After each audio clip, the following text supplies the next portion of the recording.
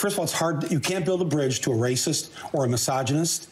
You know, they have they have to be shunned and treated like we treated smokers 20 years ago, 10 you years ago. You know what amazes me?